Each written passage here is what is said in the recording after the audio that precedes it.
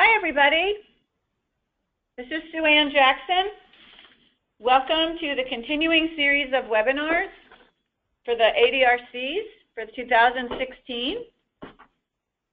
We're excited to have everybody on here. This one in particular is geared um, around gathering data. I want to remind you guys that we do record these webinars and it will be posted hopefully by next week along with the PowerPoint. If you did not get the PowerPoint in the email this morning, um, Rhonda has posted it as a handout on the system, and you can also shoot Lori, L-O-R-I dot C dot Watt, W-A-T-T, at state.or.us. Uh, shoot her a little email and just say need webinar material, and she will send you the PowerPoint. Uh, we do keep everybody muted to avoid feedback and background noise. And then, um, so if you have a question, don't hesitate to text chat it um, or put it in the questions section. I'll be watching for those while Rhonda does the speaking. Uh, if you're a group site by any chance, we'd love it if you'd let us know in the chat uh, who all's there or send Rhonda or I an email just so we know who else is there with you. Um, want to remind you that after the webinar, there will be an email shortly following from Lori that will have a link to a SurveyMonkey so you can let us know what you thought about the webinar. We really do pay attention to those and try to look them over and make sure we can constantly improve and continually improve our webinars. Um, okay, thanks for being here. We really appreciate it. And I have beside me my awesome team member, Rhonda Beautifeld who has all this amazing knowledge in her head about data analyzing and data gathering. I do want to let you guys know that we did think for a few minutes about pulling in all of the data systems we use and decided that would be way overwhelming for all of us. So Rhonda will just be talking about the SPR today. Um, so she, you know, we won't be bringing in the RTZ data today. We'll do another webinar on RTZ. So we really appreciate you being here with us, and I'm going to turn it over to Rhonda at this time. So hello, everybody. As Sue said, um, my name is Rhonda Suan said. I am Rhonda Beautifeld, and I am absolutely delighted to talk with you guys today. And I'm pleased to see that we have 7 out of 9 ADRCs and 10 out of 17 AAAs represented today. That is so exciting. Way to go. So thank you for taking an interest in learning more about the data that AAAs and the ADRCs collect and report in the State Program Report, otherwise known as the SPR. I'm hopeful that after this webinar, you will all find that you have a greater understanding of your own agency's data, that it's more meaningful and the the content is, something that you find more relevant and, and interesting. I recognize most of you, but for those not familiar with me, I'm a member of the State Unit on Aging, and my primary focus is on administrative functions such as contracts, fiscal, state and federal rule, and data collecting and report. I mean, it's my bread and butter. I love data. So um, that's enough about me. How about if we move on? So remember the five W's and the one H from school? We are going to explore uh, two of the W's and the H. Just as good household managers now um, know how they spend their money last year, the federal government also wants to know how Oregon spent the funds they provided for services to aging and vulnerable Oregonians. So by reporting the service and consumer demographics noted on this slide, your agency is actually evidencing that Oregon is serving the target population the Older Americans Act funding was intended for. So that is what the SPR is. The why. With so much happening back east, I tell you, it's hard to grasp that the data is actually even looked at, but I can tell you firsthand that it is. I experienced that this year. Um, just two months ago, our Region 10 ACL program coordinator contacted me because a representative at OMB had noticed the amount of funds that Oregon expended on elder abuse awareness and prevention. And OMB was putting together a report for President Obama. And because our SPR reported over a million dollars expended, they wanted to just call and ensure that the number was accurate. And I was really impressed because we assemble all of this data year after year after year, and it's easy to think that it is not being um, viewed. I mean, we just we go through all these these motions and put all this effort into it, and for what? Well, they really are looking at it. And so I think it's very important that everyone recognize that ACL is actually required to pull this data together annually, and they report this to the President, to Congress, and OMB utilizes this data in determining what the upcoming presidential budget, recommended budget will be. So what happens if our data is inaccurate? If an ADRC or a AAA is sloppy with their reporting, um, it could be over-reported numbers, it could be under-reported numbers, it could be a lack of demographics. Hey, I'm sorry, you guys. Somehow this slide doesn't appear to be in um, in your your presentation there. I apologize for that. But um, funding is actually when what happens when the data is inaccurate is funding is not is actually awarded appropriately. What happens is the funding is not awarded appropriately because OMB determines the amount of funds to allocate to us based on available funds on our state population and on our reported performance numbers. And you should consider the SPR as a performance uh, report for your agency, basically, and then I aggregate them all together and we report one statewide uh, performance report.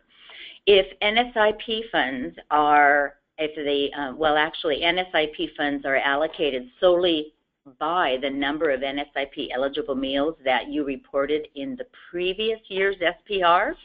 So if indeed those numbers are not reported accurately, you might be shorting your agency additional funding. So it's very important to make sure that you are documenting each NSIP eligible meal that is being served.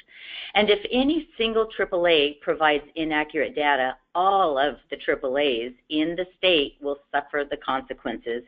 And it's really important that you recognize that our SPR is actually going to be viewable on the Administration of Community Living's website. So it's out there for the whole nation, international actually, to view. So accuracy is very important. Rhonda, before we get going too much further, we're using some acronyms here, and we may have some folks who used OMB, and now you've used NSIP, and we might have some people who aren't quite familiar with all those acronyms. Could you explain what they are? Thank you, Sue Ann. yes, NSIP actually stands for Nutritional Services Incentive Program. Um, NSIP used to be referred to as, um, oh my gosh, I'm forgetting. It's the Commodity Food Program. And, and it's been NSIP for about 10 years now, and I'm I'm so sorry. I'm escaping. It's escaping my mind what it used to be referred to, but I think you you probably may recognize um, that. And the uh, OMB is the Office of Business and Management. That is a federal department. And SPR, you know, is State Program Report. Did I use any others? Thanks. Thank you. Okay. I think we're good. Okay, so let's proceed on to the next slide.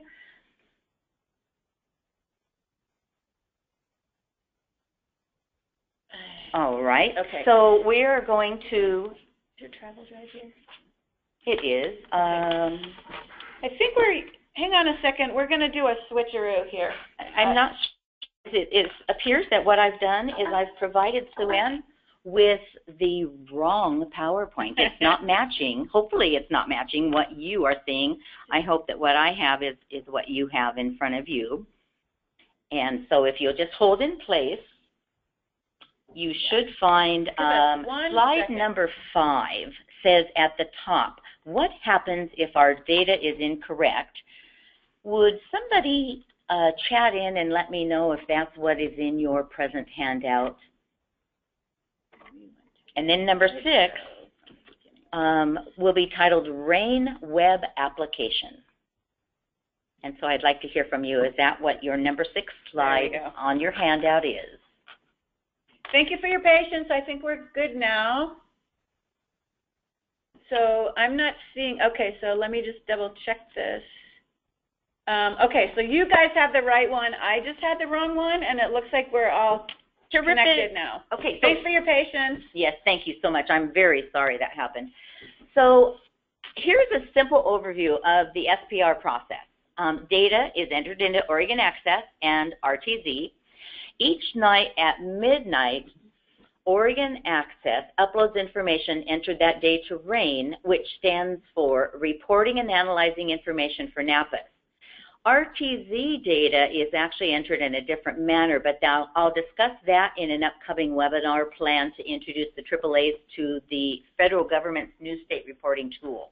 And can you just say what NAPIS is, just in case? Yes, NAPA stands for the, it's actually an old term related to a federal data system that they provided to all of the states for reporting.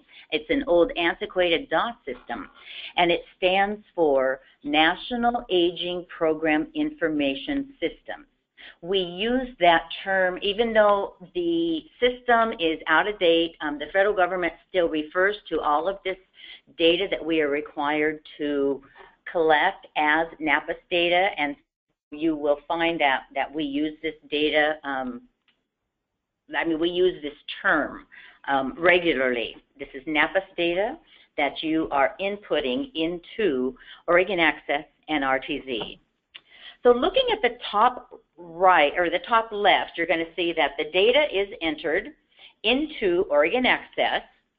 It uploads nightly at midnight into RAIN. And as I said, RAIN is a web data application, a web-based data application. So it extracts the data from Oregon Access each night. And so if you input data today, it's going to show up in RAIN tomorrow for all of you to view. And we can go into viewing that. We'll, we'll talk about that a little later on in the webinar. So going back up, looking at that top right icon on the computer monitor, you'll see the next step is transferring the SPR from RAIN to the federal system. The feds examine the data, they ask questions, and eventually they provide to OMB for use in that recommended presidential budget for the upcoming federal year. So now let's move on to how. We've talked about who, what, um, where, when, why we do this, and now how. How the report gets to Washington, D.C., we talked about. So we're briefly just going to go over um, how the report can be useful to your agency. Three things immediately come to my mind. Um, you can demonstrate program value and service trends to your staff, to your advisory boards, your legislators, Oregon senators, civic groups um, who are operating in your district, fundraising, you know, as you try to fundraise and help them understand um, your district's constituents so that they recognize what your performance is and how many people you're serving, um, the vulnerability of your consumers. You can use it to develop interest in your programs, and you can use year-to-year comparisons actually to track your performance and the trends and just the general health of your district's consumer base. So those are just a, a few things of how this data can be used by your agency. Okay, so let's get ready and let's explore the state program report. So the state program report is 32 pages in length. It may be 33 depending upon how many other services the AAA's report. Um, typically, other services will will um, take up two pages, but sometimes um, it has gone a third re- a third page. But so it's typically 32 pages in length. There's four sections in total. Section one is the client and caregiver characteristics. Section two is our service financials. Section three is all about the your agency and the state. And section four is the developmental accomplishments that you and the state report. So let's see. I think we have about 60 minutes remaining. Um, please feel free to raise your hand if you have any questions during the remainder of this webinar. It is it's going to get technical and I will try to be very careful to make certain that I am not glossing over anything that, that you understand what we're going to be looking at. And this is Sue Ann. I'm watching, so text chat your questions, and I'm watching for those while Rhonda's focusing on the presentation. So we'll try to get them in as soon as you let us know what they are. Great. So next up, we are going to explore section one, which is client and caregiver characteristics. So this is the first page of the SPR. The data we're going to review today is actually an assembly of all 17 SPRs into one state report. So this doesn't represent um, a single AAA. This is our statewide report. The top row identifies 50,649 consumers received a registered service. Now you might ask, what's a registered service? That's something we will review um, just and we're going to review registered and unregistered um, in just a couple more slides, so we'll go over that. The middle row is the total of all unregistered services, the total com, com, the total number of consumers. And I want you to notice how many more consumers there are. We went from 50,000 clear up to 345,000. And the last row is an estimate of all consumers. So I'm, I'm not sure if I distinguished this. The center row is unregistered. So it's unduplicated of those consumers who received an unregistered service. The bottom row is actually referred to as an estimate of all consumers. And the reason it's an estimate is because the top row is definitely unduplicated consumers. The bottom row is the total number of consumers served. However, because the same consumer likely receives both a registered service and an unregistered service may have been consumed, then the number is not considered unduplicated because that person may have been counted twice. All right, now we should be on um, slide 11. So in your handouts, hopefully it says 11 registered services. These are registered services. A registered service is a service that requires not only reporting the unduplicated consumer count and the units, but it also requires client demographics. The demographics are what really demonstrates to the federal government that we are serving the targeted vulnerable populations that the Older Americans Act funding has been intended for. So when you're looking at this list of registered services, you might notice how these are basically one-on-one. So you can consider a registered service as one of those where it's, it's a one-on-one type of service. Personal care, homemaker, chore, a home delivered meal, adult daycare, case management, assisted transportation, congregate meals, nutrition counseling, caregiver counseling, caregiver support groups, respite care, and supplemental services to caregivers. Moving on to slide number 12, these are some of the unregistered services. We have a lot of unregistered also to choose from, and as you are likely aware, each AAA has local control over what services they will provide in their district, and it is actually based upon the local need of your area. And I'm sure you can imagine that the needs in the urban area are likely far different than those needs in a rural area, such as LaGrande, um, Harney County, those type of, of situations. So it's good that you have local control and can decide how your dollars are to be utilized in addition to the other required services that your agency must utilize funding for. So as I said, um, unregistered services do not require demographics. It makes sense. It might. I mean, think about transportation. If you are paying, um, let's say, LCOG is Lane County, and they are providing dollars to the transit in Lane. It's not feasible for a bus driver to ask that individual who is getting on the bus to complete a NAPIS registration form. Um, so even hash mark how many, um, you know, people got on his bus. That that is something that is not easy, and it's not expected. Um, legal assistance falls into this unregistered because we want to keep the privacy of that individual. However, one of the things that ACL will be moving forward with, and I think we're going to see this in the newly um, reauthorized Older Americans Act, is we will be adding qualifiers into Oregon Access so that we can further distinguish the type of legal service that was being sought. sought. Was it an age discrimination um, suit? Was it housing? Um, was it to aid in, in achieving medical benefits or any kind of benefits, those type of things. But we, are, we still will never enter in a date of birth.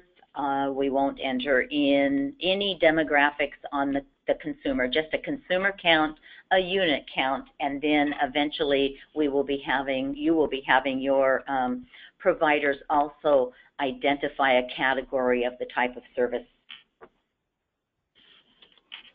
Okay, so when, Okay, um, we have a- oh, I think we have a question. Well, Take a minute. It's more of a comment. Um, just a note that currently we do treat disease prevention health promotion as if it were a registered service because of the additional state funding we receive to support those services. I bet Jennifer. Jennifer. Yes, thank you very much. That is another, a very important, um, distinction. I so appreciate you saying that, Jennifer.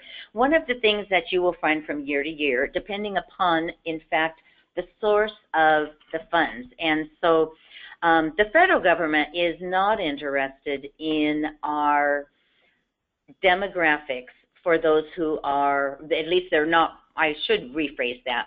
Presently, they are not interested in receiving demographics for those consumers who are attending an evidence based health activity. However, the legislative body has Uh, Oregon's legislative body has allocated a very significant sum to the AAA so that they can provide health or evidence-based health promotion activities. And one of the caveats with this funding is that we come back and we can report to the legislators the services, the number of individuals, and the demographics.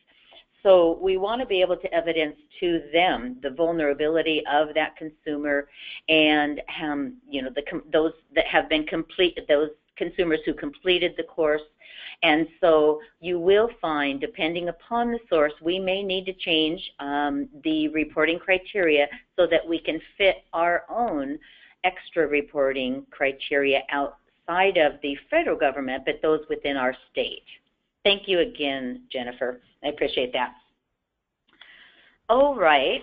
So um, I did have a little note here too. If you would like a full list of the service units and the definitions for the Older Americans Act services and Oregon Project Independent Services, you will find that actually on our website. And um, you can also go to the list of transmittals and look up action requests from the year 2011, and you'll want to look up um, the transmittal 047 under action request. Okay, now we're going to look at page two of your SPR. This is where we really dive into some fascinating information. I just, I, this is incredible. So I want you to look here. This SPR contains the reported demographics. The page two is reported demographics of all clients in Oregon who received a registered service. Now note that we are actually looking right here at the total registered consumers. And then if we were looking at this electronically, we could then click on the congregate meals, we could click on nutrition counseling and assisted transportation, and we would individually see the data for each of those three other services. And note the reference also to cluster 1 and cluster 2. It says that on the line that says B. So section 1, elder defiance, B, general characteristics. The difference there is um, in cluster 1 and cluster 2, you were, as we proceed, you'll see a difference in the data that as that is represented there. And ACL categorizes the registered services into clusters, and also with the the um, caregiver information, since they've already used cluster one and two, they actually assigned group one and group two to caregivers. So um, you'll notice that on, on subsequent pages. Okay, let's go on to um, 14. So on your notes, it should be page 14. And this is the SPR pages 3, 4, and 5. And so what you'll see here is when I had mentioned if you click on congregate meals, this is the detail. So whereas, Sue Ann, if you go back one again, mm-hmm. on the section 1B, you'll notice that the total clients on here is 50,649. And of those, this is pretty amazing, um, only 5,660 actually are below poverty. Now look down to the next line. You're going to see of this 50,649 consumers, the total with the age reported is 39,743. So 10,906 have no age reported. Now, of these 39,743, run across that line. This is what's so fascinating to me. So you're going to see the age of the consumer. So 14,857 of those consumers are between the ages of 60 to 74. 11,870 are 75 through 84, and a whopping almost 9,000 consumers are 85 and over and out there and receiving. That means they're they're getting to a congregate meal site. Um, they are possibly receiving assisted transportation to get to that site. But I mean, 85 and over, almost 9,000 people. That is fantastic. Okay, so now we're going to look at just congregate meals in the same way. So as you're reading your own report, you're going to look through, and again, you're going to see. So, for example, statewide in congregate meals, the total number was 34,432. 2646 of those were below poverty. Um, we have 10,010 had no age reported. 14,933 of this 30,000, um, 34,000 were female. Males only 9,587. And then again, going across, you'll see how many of those males are at poverty and their age. So whereas 2,537 females over 85 made it to the congregate site, um, almost 15,000 males that are over 85 were also eating a meal.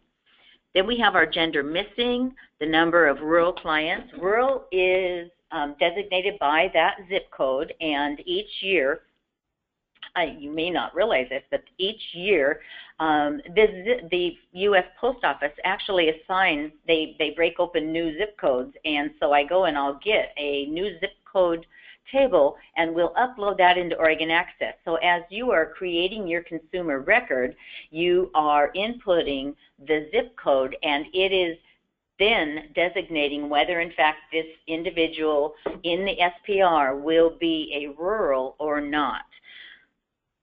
We have poverty missing, so you'll see 19,837 consumers um, either didn't report on the NAPIS registration whether they were below or above poverty, or you may have this data on your NAPIS registration form in your office or at your vendor, your providers, and it just didn't get into Oregon Access. And I'm working with um, a data researcher here in DHS who is actually creating some queries, and I have asked him to create a data pull that identifies the name of each consumer record who has any demographics missing by district. So each of these AAAs will receive, and I've asked that it be pulled quarterly. So as soon as we get the first report done and he gets it to me, I'll get that out to you and then you can begin to improve your data by going in and inputting the missing information. And if you are not in the habit of having your consumers regularly, annually actually is what I mean by regularly, if you're not in the habit of having your consumers regularly update their registration form, I recommend you do that because obviously um, somebody may not have been at poverty last year and they are now. And the new poverty uh, guidelines come out every February and so they may now be at poverty or um, you know somebody might have passed away. And so now one is living alone. And so that is most certainly um, considered vulnerable. And so as you look through here you'll also see that the federal government wants to know the number of these 34,432 um, congregate patrons. How many of those live alone? And you'll see here 10,992 15,289 are unknown so anyway, I won't go through here any farther. You can actually see where I, well, I've, I've gone down to the ethnicity and the race.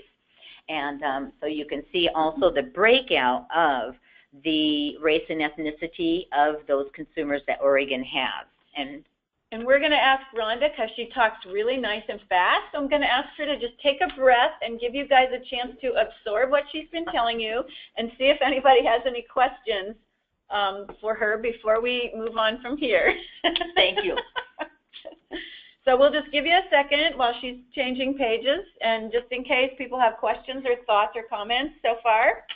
Um, otherwise, we'll let her move forward.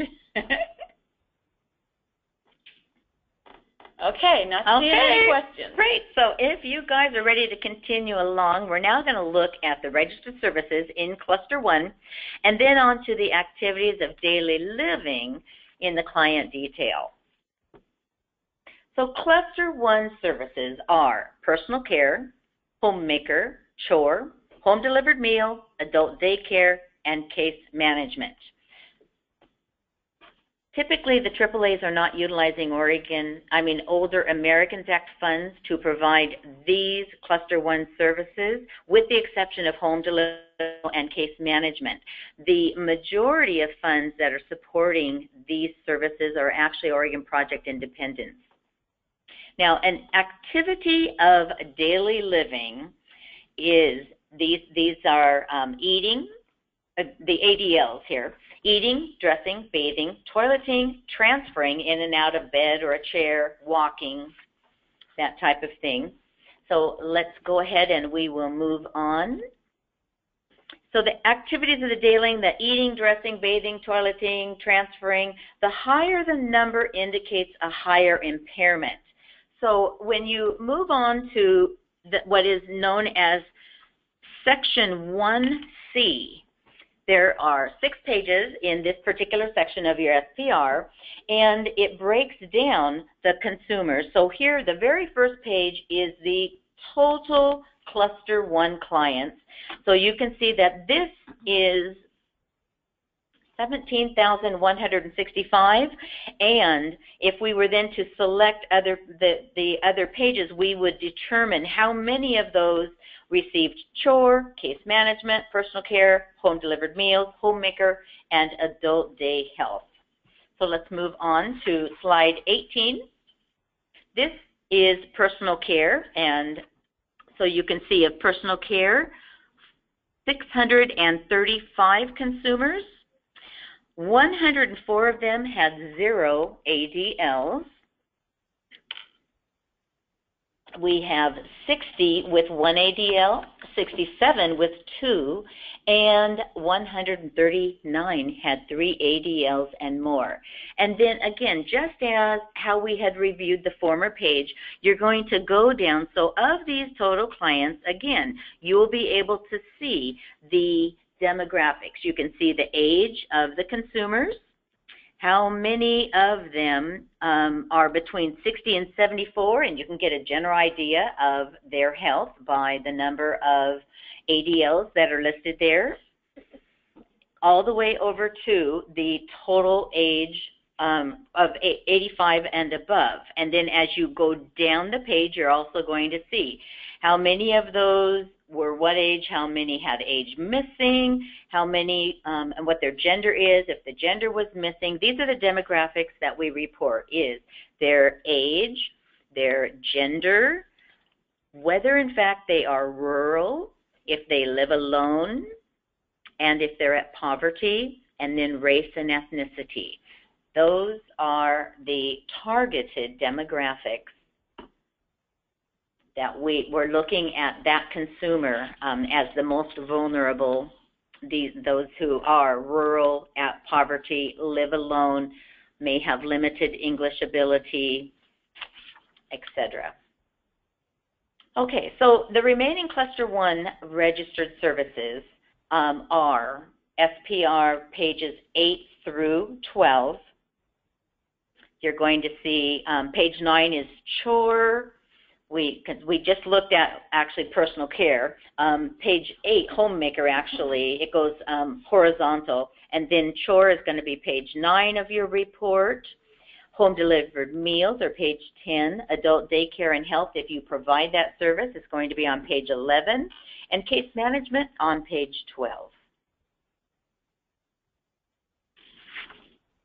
Now I want to apologize. I don't want to go too fast. So again, please, if you have any questions, um, go ahead mm-hmm. and type them in. We do have a lot to cover, and, and I know with um, I am really trying to keep this as 90 minutes or less um, instead of hold you here longer. So I, I, I want to move right along, but stop me if I'm going too fast. So the same Cluster 1 registered services are also reported to the federal government for the IADLs, which stands for Instrumental Activities of Daily Living. And so here is a slide that's going to explain to you what the IADLs are. So meal preparation, shopping, medication management, managing money, um, housework, light or heavy housework, transportation, those are the IADLs that you are also reporting concerning your consumers who received these lists of Cluster 1 registered services. And IADLs are their inability to perform the listed tasks without some type of assistance, such as full assist, or it could be standby assistant, or just um, some assistance by cues and, and reminders. All right, pages 19, or excuse me, it's 13 through 19, then are going to go through and do your demographic breakdown. So IADLs can also be known as a self-management type of task. Um, and as you are going through here, we're looking again at the total number of consumers who have received these six and you can see the stats again on the total number, what their AD or IADL breakout is by the age groups, and then again down through by their demographics, by their gender, um, how many are at poverty, and what those ages are. Um, do they live alone? And all the way down to the ethnicity piece. Slide 23 is going to just show us the breakdown of, we looked at total, which is page 16. Then if you move on, actually, um, it was 13. Yes, it is 13. And then uh, personal care is page 14, and 15 is homemaker, 16 is chore, home delivered meals, 17. Uh, page 18 will be your IADLs for any consumers who receive the adult daycare. And then lastly, page 19 is the IDLs on your case management. So there's more, and before we introduce you to guests one and or to the groups one and two, um, I want to just test your knowledge, and so we got a quiz, just a very brief one that's going to come up. And this is something new that we're trying. So um, we, So hopefully you're going to, in a, a minute here, um, you're going to see a test your knowledge slide. so the poll should be open. So which category of services do you collect Poll clients? closed to enable. Oh, okay, so you guys should be seeing the poll right now. Okay. So which of these services do we collect demographics for? Do we do that for elder abuse and prevention, for transportation, information for caregivers,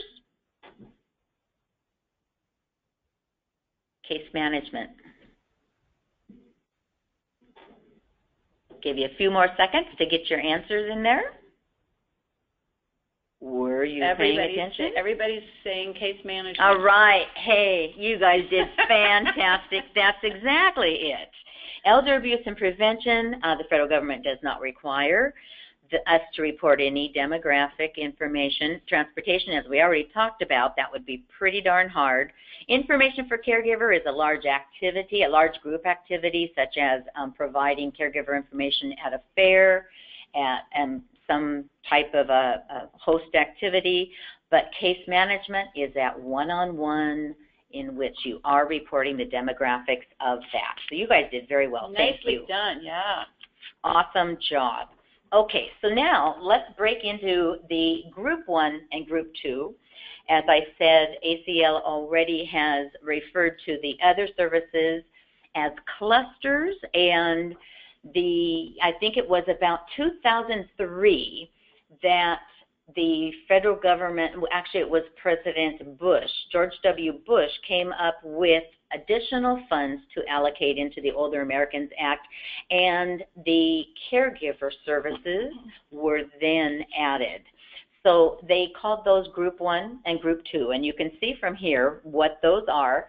Uh, Oregon has seven, actually. Why does it look like there's eight? Let's see. well, I suppose perhaps there's eight. Um, we have eight caregiver activities.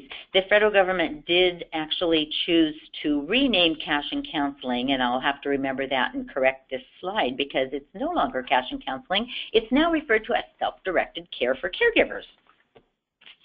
All right, so we're going to move on to page 20, and I want you to look here at section 1E, which is identifying the demographics for caregivers serving elderly who are receiving caregiver counseling, caregiver support groups, caregiver training, respite care, supplemental services, and cash and counseling.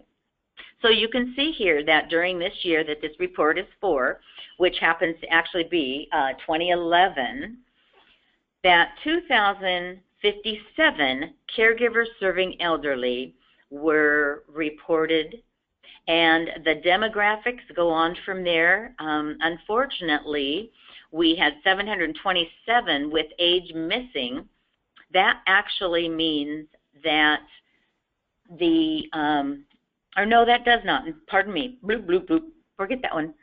So um, we have 727 with age missing. Of those caregivers, you can see the gender breakdown. An awful lot had gender missing. Um, we have rural missing. So back in 2011, we had a lot of missing data. Um, I can assure you now that I'm very pleased with the AAAs. There has been quite an increase, but I will be running some reports and um, providing you with additional information so that you can personally see the data that is missing in your agency um, so that we can brush up on that. But I think you should find most of you are doing a good job of getting that data in. We've come a long way since 2011. You can do a lot in six years, or five years actually. So let's um, go ahead and we're going to look at the SPR page that is actually identifying the number of caregivers who served children. And you might notice here that a caregiver who is serving children, we report for anybody who is 55 and over, whereas those serving elderly is actually reported at 60 and over. So 195 caregivers were reported back in 2011 as um, serving children. you can see that we had 192 of the um, caregivers with an age, and here's their age breakdown. Nobody was 85 and over caring for grandchildren. I'm, I'm relieved Thank to goodness. hear that. Yes, and fewer um, than 12, in fact, were between 75 and 84. So that's also good news. Um, you can see that the majority of caregivers serving children are indeed women, um, rural locations, and it looks as if they are, um, the, a significant number are not Hispanic or Latino. And if you go down here to the um, ethnicity and race, you'll see that um, 41 had race missing. So it appears actually from this report that the greatest number of those are were black or African American. The number of white is only three. Now we know that's not really accurate. So this is a great example of data was not input into the system. And so the data that we had to report to the federal government in 2011 had a lot of voids in it. And it doesn't look good. Now, also the latter part of this section is telling the actual relationship. So we see that 137 of the 195 individuals were grandparents, and 196 of them were the uh, total number of children that were 18 or younger. All right. So next up, this is a fascinating section. This is actually the service financials. This is great. You're going to enjoy this page. So let's go ahead and look at slide uh, 30.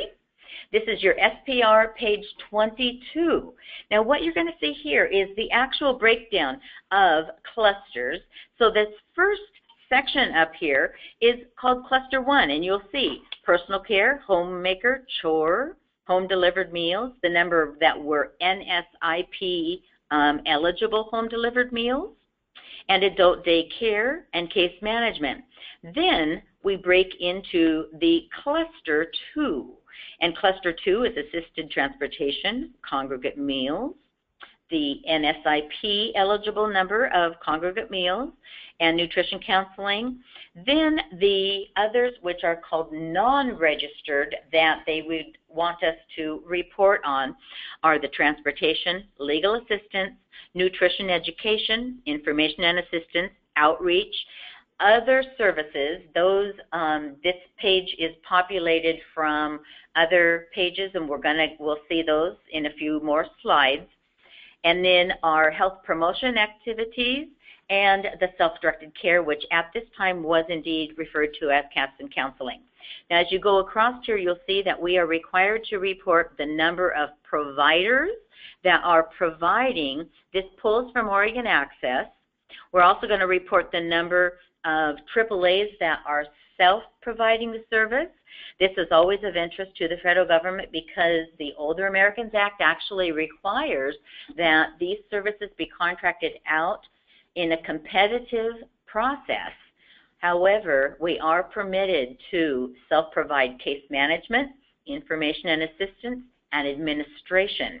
Any other service should not be self-provided unless there is a reason. And suitable reasons are if there is not a provider in your district or if you can evidence that your AAA can provide the service more economically than providing that service. So we are providing, um, I mean, we are reporting the number of AAAs who are self-providing. Then you'll see the number of unduplicated persons served. Then you'll see the total number of services, of service units provided. You'll see the total number of 3B OAA dollars, actually, not Title 3B supportive, but OAA Title 3 dollars are here. Then the total service expenditure. The total service expenditure is made up of what, where all of these financials come from are from each of the AAAs are reporting their um, monthly expenditures and then they report a fiscal year end. So they're telling me on this report how much Older Americans Act funds they utilized for each of these services how much program income was received, and you'll see that in the column, how much um, other funding they utilize to provide that, and those are all added up and present here on this line. You'll see the breakout of for personal services, um, the support services Title III-B funds that were utilized. Zero C1 and C2 were utilized, which is good because those are both nutrition, and um, zero D, which is evidence health. So again, as you go all the way down through this page, you will find that you have all of your data there. Um, you actually, right now, you're in your own personal SPRs, the financial data is not present unless you've placed it there. I uh, assemble the financial data separately and then I just place it on the statewide report. However, in the future, when we roll out the federal um, tool, you will have an opportunity to actually input your fiscals into there. And so that will be an upcoming webinar on the new um, federal tool that we'd like you to begin using. And how soon? What, what is that? Actually, we um, hope to implement that this federal fiscal year, and so um, this, later this month I will be meeting with um, the AAAs to discuss rolling that out this year. Okay, so federal So- fiscal year is October? It's, it is, and we want to, um, yeah, so we will be discussing that. If everybody's prepared, we'd really like to launch this, um, this, this year, this summer, and so we'll talk about that. It, it's a great system, easy system. Um, it'll, it'll really relieve each of the AAAs of a, a lot of the burden that they're having to do right now. Great. We'll look forward to that. Thanks. Yes. Okay, so now um, section B, caregivers serving elderly. This we're looking at the financials. So we just looked at the financials for all of the registered services. We're now looking at financials exclusively for the caregivers. And again, we separate out the caregivers serving elderly from the caregivers serving children. So the system will look in Oregon Access, the system will look at the recipient date of birth, and that is how it knows which page to actually put the number of caregivers served and the units and the number of providers. So looking here at the page 23 of the SPR, which is 31 in our handout, You'll, um, again, the expenditures are populated by the State Unit on Aging, and they're based on your final audited fiscal year. You can see that for the federal government, we have you report the number of counseling, caregiver counseling, caregiver support groups, and caregiver training separately. But on this system, in this system, the federal government wants us just to collectively report all three of those on one line. You'll see 1,277 uh, caregivers were served and a total of 5,643 units were provided. And this says 55 um, providers actually provided those units. And you carry on down through those rows and you'll find respite care, the supplemental services, cash and counseling, access assistance, and information services are the only two caregiver groups that do not, re- or caregiver services that do not require demographics. The others all require demographics. But because access assistance is that one-on-one I&A, it's not feasible for you to be asking an individual on the phone to or in your office to complete a NAPIS registration form when all they want right now is information about your caregiver services. And then the information services, as I said a little earlier, is a large group activity. So when you're going out again and you may be at a fair or some type of a large event, and you're providing information, it's not feasible that you are documenting anything. So it's referred to as an estimated consumer count. So you may estimate, and you'll see here that in the year 2011, um, there was an estimated number of 11,285 individuals, potential caregivers or individuals interested, who were served with information services in a large audience activity, and there were 1,682 large audience activities that were held in Oregon. Next up is the very same information, but it's pertaining to caregivers serving children. So um, this time I'll just go from the bottom up. We're going to look at information services. You can see that it is that 148 events were held and only 30 individuals, approximately 30 individuals uh, attended. Now this may be underreporting um, or overreporting. It's hard for me to tell, but as as you learn these reports and become more in tune to what you are reporting, I expect that you're going to find you have a lot more confidence in what your SPR says. In 2011, I'm not certain that this was real accurate. Again, we have um, for accesses and um, access and assist, access assistance, which is basically your one-on-one I&A with a caregiver. 420 individuals were served, and the number of units were, and one unit is one contact. So this looks like many people came back and asked more questions, if we're to interpret this um, accurately. And then, you know, we've already talked about going up the row. Um, you can see all of that data. So let's go ahead and we're going to move along to another section. This is actually page 25 of your SPR. And this data is not any, this page is not a AAA responsibility. This is where I enter in the expenditures that we have expended for elder abuse um, prevention, awareness um, prevention activities and also what we have expended as a state in legal assistance development.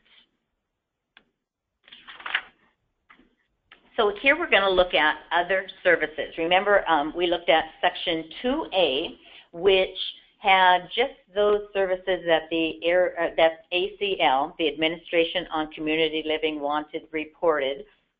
All of the other services that funds are expended for or expended on and provided go on section 2E.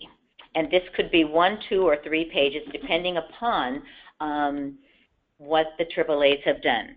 So the multiple pages, they may, they're um, in your SPR, all three, if you have three uh, pages of other service, you're going to find that the system will name that page 26 for each of those. So you'll have three page 26. So don't be alarmed if you happen to see that on your own individual report.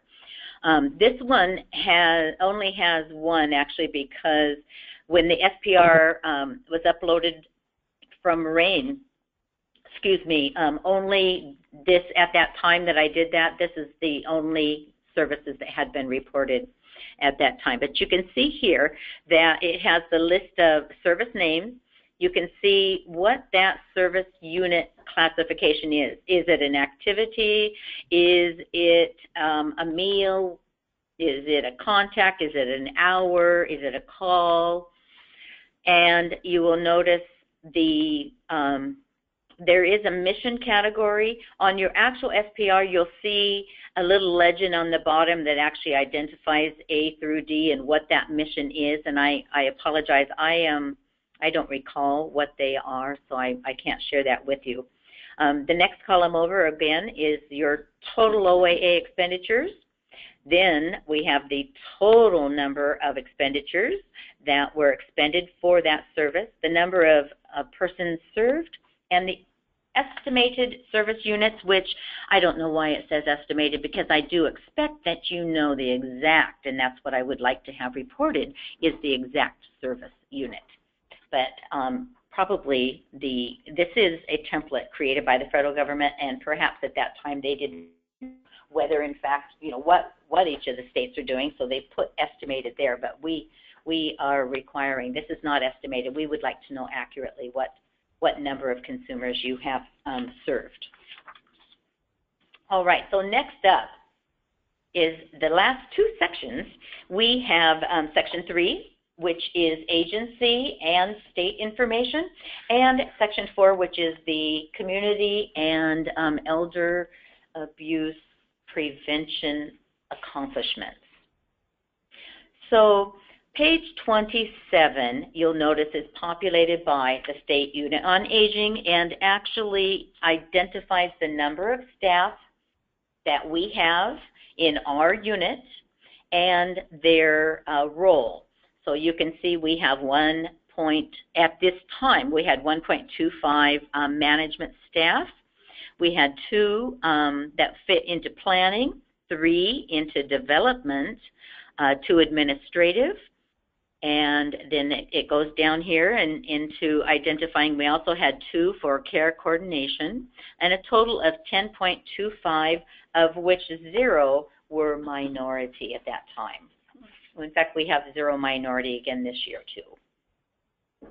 The page, the next page, 28, is actually your agencies. This one is an aggregate of all 17 agencies. So what you're going to see here is all 17. So we have 31 um, directors or management staff that have been reported, of which 1.25 is a minority. Uh, you have five planning, we have 7.92 in development, 21.99 administrative, and so on. For the service delivery, um, your administrative clerical support, and the number of volunteers. So this all comes from what you input into the system. Next up, we're going to look at page 29 and page 30, which is a focal point and also the number of providers and those um, what that provider uh, makeup is, whether in fact they are rural or a minority. And this is a checkbox in Oregon Access is where this comes from. The provider module. So the entry screen has, in, in um, the provider module in Oregon Access, has a minority checkbox and a rural checkbox. And so, as well as a, a checkbox that indicates, in fact, you can see the, the I put a, um, on, on this screen, you can see that I have actually put a screenshot of that page. So you can see that if the if you have a contractor no longer providing, you need to go in and inactivate them by checking the inactivate provider. Otherwise, it's going to be numbered on section 2A, which tells the number of providers um, providing the service. Here you indicate if it's your own AAA providing the service, whether it's a minority or a rural provider, and that all appears on the report. Then we have um, the makeup here of our focal points. Now, a focal point is any location in which an individual can go and learn about the services that your AAA provides. So, as you can see in 2011, uh, 122 AAA's reported 122 focal points, of which 78 were actually senior centers. And um, the number of senior centers that your AAA had, um, or no, that had been reported in the past year was 99. I recognize that was not accurate, so I go in now and um, I have created and look in um, in on the web for the number of senior centers, and so I have created a table identifying that Oregon actually has uh, I believe right now, off the top of my head, 133 uh, senior centers within Oregon. Of this nine reported nine during that year, AAA AAA's also reported actually providing Older American Act Fund services, I mean, Older American Act funds to 42 of those. And those funds are in addition to contracts for services. So that's the number of senior centers who received assistance from you via with Older Americans Act, but it was not compensated for a service provided. All right. So the last um, two sections here, or no, one section perhaps, I, but it is two separate pages. So SPR page 31 and 32 is the accomplishments, and each year you are asked to note your accomplishments and those um, AAA's, I recommend you make, um, you just keep a, a, log of different events that, that you have been able to accomplish and different things that you want to highlight. Um, then for both of these, in, for example, it was last year Oregon Cascades West held an elder abuse um, oh goodness, Randy Moore, if I had a mic on you, you could tell us. Anyway, they had a nice event in which the uh, Department of Justice came and talked about elder abuse prevention. Um, they had other speakers there. And so that would certainly be something that they would want to highlight as an accomplishment for the system of elder rights for that particular year. Okay, boy, we have cruised. I hope I haven't um, gone too fast. So, do you have any questions and comments right now that you want to talk about?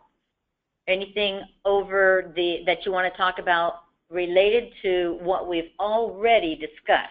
Coming up, we're actually going to talk about how to utilize the data that you've collected. But anything related to the SPR, now's your opportunity. And if not, we'll go ahead and proceed. So everybody catch your breath. Uh, yes, stand up if you want to, stretch, take a drink, blow your nose. She only has a few more pages, but we but it is exciting for us to be able to talk about now that you've collected all this data and we've put it all in the report. Now, how can we use it and how can it be helpful to us and what can we learn from it? So I'm excited to hear about this. All right. So next up, you've collected all the data. Let's discuss some ideas of how to utilize it to your benefit. So annual data reports can assist you in so many different ways. Um, particularly right now, uh, as all 17 area agencies are actually developing their upcoming area plan, I would expect that the data available, and if you happen to not have your um, last couple of SPRs available, send me an email. You'll find um, my contact information is on your handout, the last page probably, and I'd be happy to send that out. If you are representing an ADRC and um, don't happen to have your uh, local AAA's SPR and you'd like to see that, again, send it to me, send your request, and I'll go ahead and email it out to you. So the data is really important um, for your strategic planning of your area plan. It also um, helps you bring your staff on board. The more your staff is aware of what you're doing, the better they feel about their job, their role. And, and so this is definitely information. Um, I hope that as we've gone through the pages, you recognize that this is significant information, particularly when you're looking at your individual SPR. You ought to, I mean, this is your performance. You, you ought to get that out there and show your staff.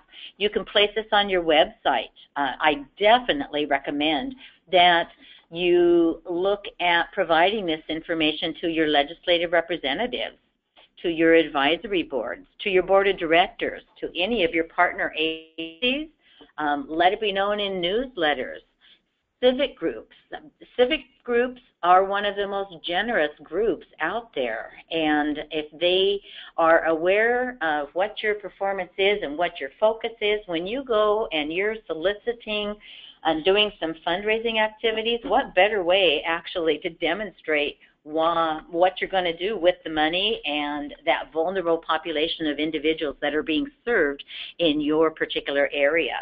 Um, public events, you know, I just I toot your horn, um, get out there and let them know what your agency is doing.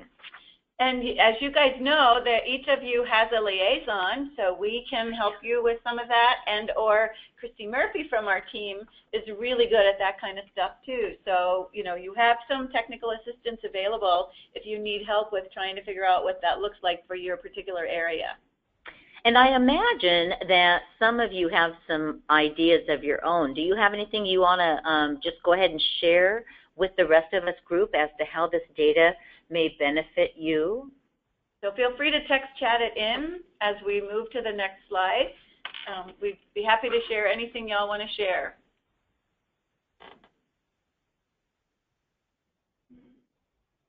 Are you guys a quiet group, huh? It is a quiet group. Okay, so um, let's move on. Let me just show you. This um, is an example of how you can pull your data together. I actually may have this template um, that we could provide to you if you want to actually plug in uh, this your own data. And uh, this is actually again an older report. This is uh, from federal fiscal year 2011. I mean 2010. And we've titled this Older Americans Act Profile. And so you can see here that 54,000 consumers unduplicated. Um, the average age of those consumers was 60 to 74. Uh, 10% of those consumers received one or more registered service, and I know you are all familiar with the registered service now. And if you need a reminder, look to your right and you'll see that list of registered services. You can see that during this year, adult daycare was not heavily funded. Um, I have seen through the last two years um, that there's been a real increase in AAAs actually providing adult daycare. I'm not certain whether that's because there are more adult daycare, um, health day care facilities that have opened up, or if the AAAs are just finding that there is a greater need in their area, and so they've had to um, add that service as one that they're providing. But at this year, it was just $130 that were provided. Um, you can see the breakdown of all of those expenditures between the registered and the non-registered, and then we have our pie chart. Um, $8 million were spent on registered service, whereas um, 15, 1.5 million actually, were spent on non-registered. Then as you go down again, you can just see, so this is just a visual for you as an example of how you can compile your data. And on the next screen, you're going to see the next slide here. gotta- let's see. Oh, hold on. We Um, might have a question here. Before- Okay, so who in a AAA can typically access the SPR data to use in planning or quality review? Is the data easily available to most of the staff at AAAs? Um, so that's. Oh, all right. So um, let me talk about accessing the data. Okay. In RAIN, as we said, in Oregon Access, so at any time during the year, if you want to look at your data, um, Oregon Access, it's uploaded midnight to RAIN, and if you don't have a RAIN account, you'll see that um, on the back of your handout how to obtain the login. If you have an Oregon Access account, that is actually the same login and the same password. Of course, it would have to be because, again, the system's extracting it from Oregon Access. So you're going to log into RAIN with that very same login name and and your password, and you will be able to view in RAIN exactly from July 1st of the prior year up to whatever present the, the prior day that you're viewing it. That is the data that's in there. Um, I recommend that you actually wait until, if you're going to do look at doing a report such as this, you're going to want to wait until your SPR is complete.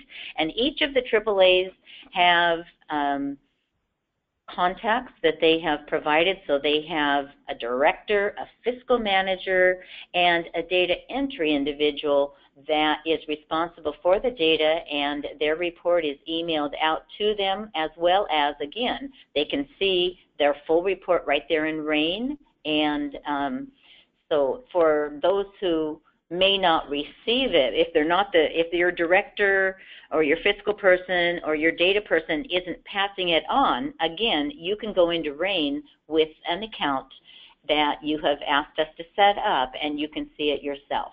So it's out there, it's available, and um, we could consider putting this on the SUA website. Uh, we'll have to talk about that. It, it might be something that AAAs are interested in doing just for an easier way of accessing. But typically, it sounds like the AAA directors and or the fiscal person and or a data entry person. So th- at least three people usually at each agency that people could go to and say, I want, I'd like to see this, or I'd like to see a copy of it, or Yes, okay, cool. exactly. Thank yes. you.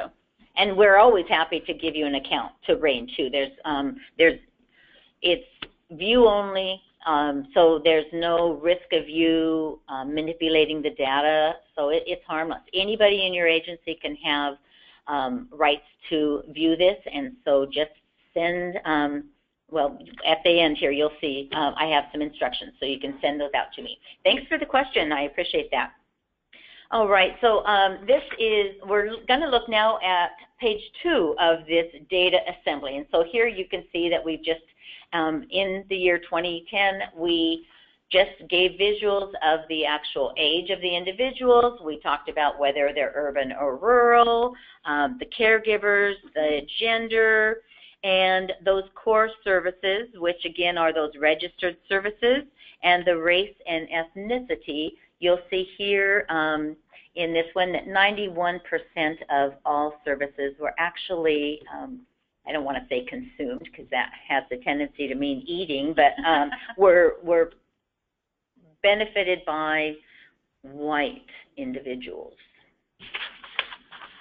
Okay, so these are great examples of the kinds of pictures that we can, you know, the, the kind of one pager with pictures and graphics. And again, uh, Christy Murphy from our team can really help you with some of those. And you do have a liaison that can also help and connect you with some of that information.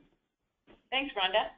Uh-huh, you're welcome. Okay, so other uses, um, SPR data is useful in identifying areas to target. And so if we move on to um, slide 47, page 47 in your handouts, uh, Older Americans Act, target population. We are to target low income, those residing in rural areas, the greatest economic need, uh, low income minority individuals, the limited English proficiency, those at risk for institutional placement, those with severe impairments. And uh, the Older Americans Act, we have been operating on Older Americans Act reauthorization from 2006. It has now just been reauthorized, and so we will soon uh, be operating our services under Older Americans Act reauthorization 20. I believe it is 2015 or 16. I, I can't remember which year they attributed it to. It was it was begun in 2015.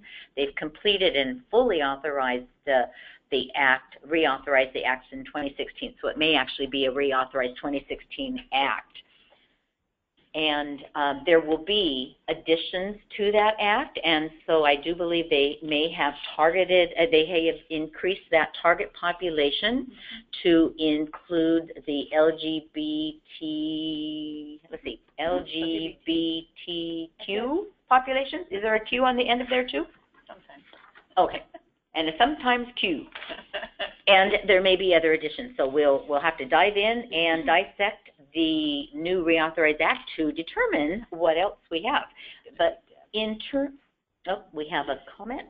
Uh, just that Deb is telling us it was 2016. Oh, thank you. Thanks, Deb. Yep, thanks for the clarification. So soon we will all be operating under the reauthorized 216 Older Americans Act.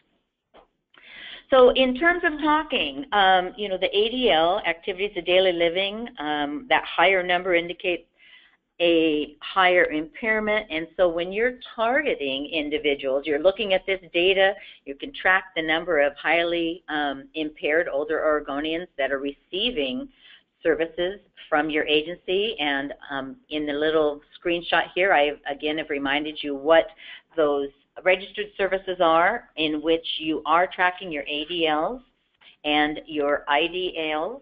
Again, in terms of targeting, you can look at your data and increase, you know, can strive to increase the participation of low-income clients. And when, if you look here on uh, slide 49, sorry, there we go. You'll notice that of the 50,000, I think that's a five, or maybe it's a six. Yeah, they're pretty small numbers here. 50,649.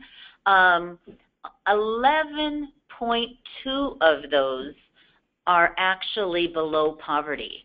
That seems I don't know. It seems low, but maybe maybe that's just right on and, and a good number. Um, although, oh, I see. No wonder. Uh, yeah, I looked down at my own uh, my own uh, slide to see that I did tell you here. Forty-seven point seven percent of the clients actually do have missing information. So, um, your data is only as good as what you put in it. So if we're going to talk about usefulness of data um, and using it for targeting purposes, you certainly do want to also make sure that you have your uh, demographics in the system. But if you have the data there, then you can show all these other things. And yes, and again, um, data and analyzing it, um, it, it really equates to money. I, I just truly believe that your performance is demonstrating to the federal government as well as Oregon's legislative body that we are expending funds as they intended, and um, and it's just very useful for fundraising. So um, targeting also just this very, I think this might be one of the last things that, that we are talking about is increasing that ability to demonstrate again that you are meeting that target population and you can do that by reducing the amount of missing information and so again on this particular slide you can see that the total number of registered clients you'll see that uh, in 2011 um, 18% actually had age missing and their gender was missing 18%. Um, the rural and poverty missing, we had 20.3% and 39.8, and then that live alone missing 31.4. Now I do understand it's sometimes very difficult to get this information. Um, if I was at a congregate site and someone came up and said, "Hey, do you live alone?" I'm not readily going to answer that question because I feel vulnerable. I'm aged and and and um you know I I just don't want people to know whether I live alone. However, if somebody were to sit down quietly and have um a, a conversation mm-hmm. as that individual is completing their NAPIS registration, they can explain why that question is asked because it is demonstrating that your agency is meeting that target population that the, the funds are intended for. And you can also reassure that individual that this data doesn't go anywhere. You're going to actually, um, we don't need to, you'll notice the NAPIS registrations have been updated over the last couple of years. We've, we have no longer asked anything except are you above or below poverty. We don't need to have specific ranges. However, in Oregon Project Independence, that is not the same. So if you are uh, completing a consumer record for a consumer of OPI, Oregon Project Independence, then you may be adding more information than just an OAA. But for the OAA consumer, we just need them to indicate if they are below or below, I mean above poverty. So if you have any questions or comments, you need to text chat it in. We aren't going to open the phone lines. Um, but we, it looks like Rhonda's going to finish up here. Yes, so let's just look at our very last slide. And um, these are just some follow-up actions that you should consider. Ensure that your consumers are updating their NAPIS registrations annually. We already talked, you know, about the poverty level changes each February. Consumers relocate. They may have been rural or urban, and that's changed.